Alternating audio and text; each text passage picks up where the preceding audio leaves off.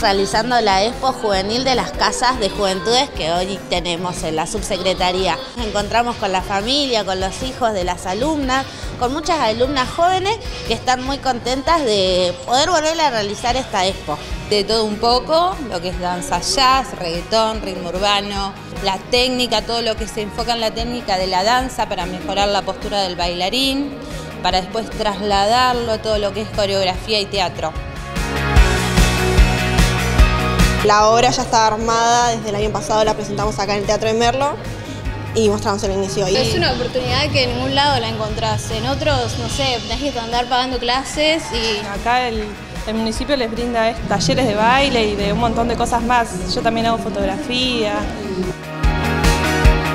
Y acá se vio todo lo que aprendieron y lo que les gusta hacer, que es lo más importante, que apoyemos a los jóvenes en lo que les gusta hacer.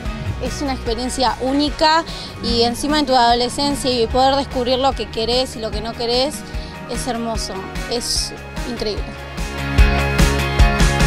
Para mí significa pasión, paz, es algo que me lleva a pensar el futuro, algo que me podría llevar adelante en el futuro.